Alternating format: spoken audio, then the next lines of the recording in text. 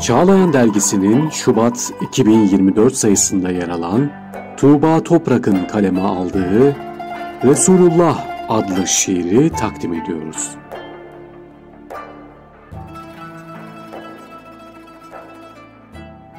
Adın güzel, sense adından güzel.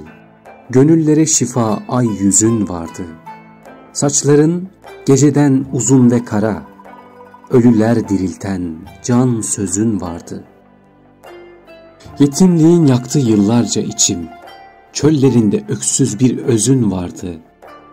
Boyun, endamın aşk yerli yerinde. Cemalullah gören kalp gözün vardı.'' Haticen de ilkin, ilk de göz ağrın. Vedasıyla inen bir hüzün vardı. Acı imtihanlar yoldaşın oldu, ömründe yazdan çok sert güzün vardı.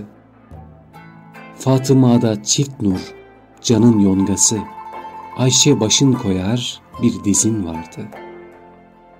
Sen konuştuğunda bülbüller susar, sohbetinin doyulmaz hazzı vardı.''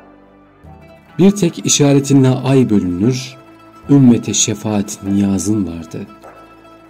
Gözümün nuru der başın koyduğun, ayaklar şişiren namazın vardı.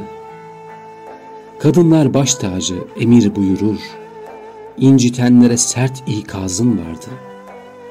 Leyle-i Kadir'de affa dualar, Miraç'ta şefaat pervazın vardı.''